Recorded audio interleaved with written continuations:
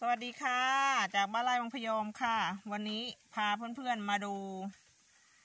สมุนไพรใกล้ตัวอีกชนิดหนึ่งนะคะ มีสรรพคุณมากมายนะคะ แต่วันนี้บ้านไร่บางพยอมยังไม่ได้บอกสรรพคุณนะคะ วันนี้พามาดู ไว้ก่อนนะคะ นี่ค่ะ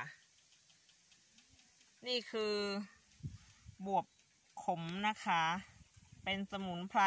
เป็นไม้ที่อยู่ในป่านะคะ เป็นสมุนไพรใกล้ตัวอีกชนิดหนึ่งนะคะ รักษาได้หลายโรคนะคะ อันนี้คือลูกของเขานะคะ อันนี้คือเป็นลูกอ่อนนะคะ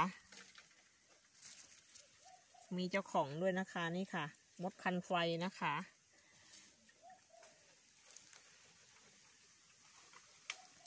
ดอกของเขาจะสีสวยมากเลยนะคะ เป็นยาสมุนไพรใช้ได้ทั้งลูก ใช้ได้ทั้งเถาใช้ได้ทั้งใบแล้วก็ใช้ได้ทั้งรากนะคะสำหรับสมุนไพรใกล้ตัว คือบวบขมนะคะ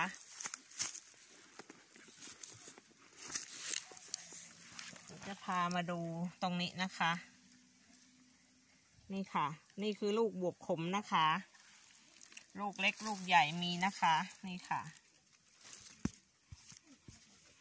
มีหลาย ๆ คนนะคะ ที่ต้องการลูกบวบขมเพื่อไปทำยานะคะ เคยติดต่อบ้านไร่วังพยอมมา แต่ตอนนั้นยังไม่มีลูกนะคะ นี่ค่ะ ปีนี้ออกดอก เยอะออกติดลูกเยอะนะคะ นี่ค่ะ นี่ก็มีนะคะ ปีนี้ติดลูกเยอะนะคะสำหรับบวบขม นี่ค่ะ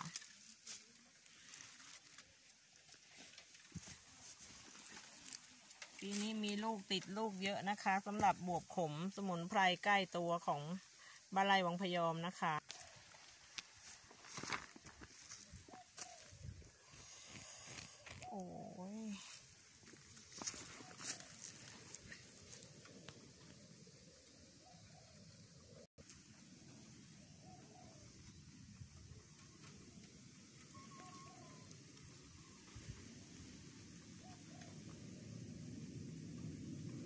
วันนี้บ้านไรวงพยอมพามาดู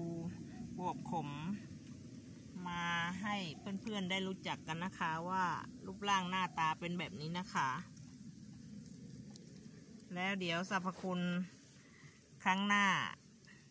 บ้านไรวงพยอมจะมาบอกกล่าวให้ทุกคนได้ทราบนะคะว่าสรรพคุณนั้นใช้ประโยชน์อะไรอย่างไรบ้างนะคะ แต่สำหรับลูกแก่ของเขา เราสามารถที่จะ เอาซังเปลือกของเขามาไว้ขัดตัวนวดตัวได้นะคะฝากกดติดตามกดไลค์กดแชร์เป็นกำลังใจให้บ้านไร่องพยอมทำคลิปดีๆต่อไปด้วยนะคะ สวัสดีค่ะ